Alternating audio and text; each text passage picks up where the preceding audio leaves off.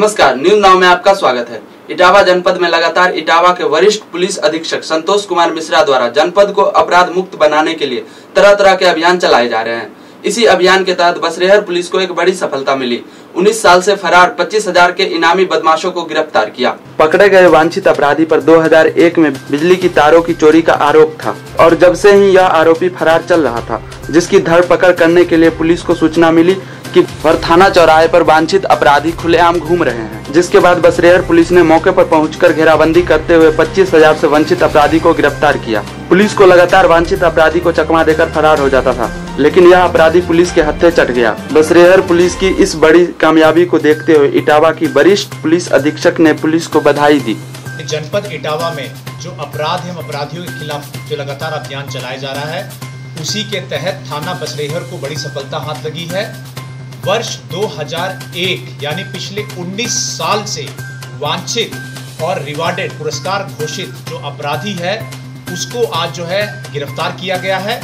ये अपराधी पिछले 19 साल से कानून से ये बच रहे थे, लेकिन पिछली क्राइम मीटिंग में जितने भी इनामी थे, वांछित थे, उनको दोबारा रिव्यू किया गया था और पिछले एक हफ़्ते से लगातार मैनुअल और सर्विलांस के आधार पे लगातार कार्य किया जा रहा था और इस काम के बाद में आज जो ये अपराधी है, इनाम सिंह, पुत्र बलवंत सिंह, थाना बसरेहर के 19 साल पुराने मुकदमे में आज इनको गिरफ़्तार किया गया है।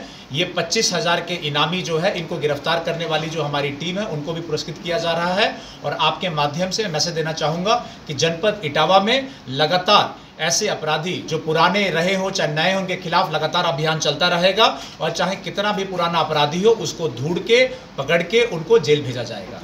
कौन सी धाराएँ ये ये जो मुकदमा था 2001 में, ये चोरी का प्रयास का मुकदमा था, उसके साथ में एक दो मुकदमे इन पे और भी थे, लेकिन पिछले 19 साल से लगातार ये कानून से ये बच रहे थे, ये इन के खिलाफ बाकी कार्रवाई भी वर्ष 2001 में हुई थी, लेकिन आज तक ये पकड़े नहीं गए थे, बट हमारी जो टीम है, हमारे additional S P C O की टीम के द्वारा की गई कार्रवाई के अंतर्गत थाना बसरेहर की टीम ने इनको 19 साल बाद इनको गिरफ़्तार किया। कहाँ से पकड़ा इनको पकड़ा गया है। इनके कई लीड समय मिले थे।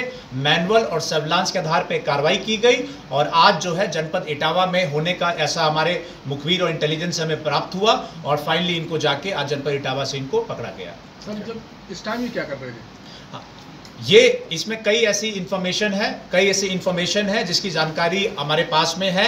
और जैसे मैंने बताया मैनुअल और सर्विलांस के आधार पे इनकी उम्र जो है इस टाइम पे करीब पैंसठ से भी ऊपर है। और जब ये अपराध किया था तो ये 45-50 की रेंज में रहे होंगे।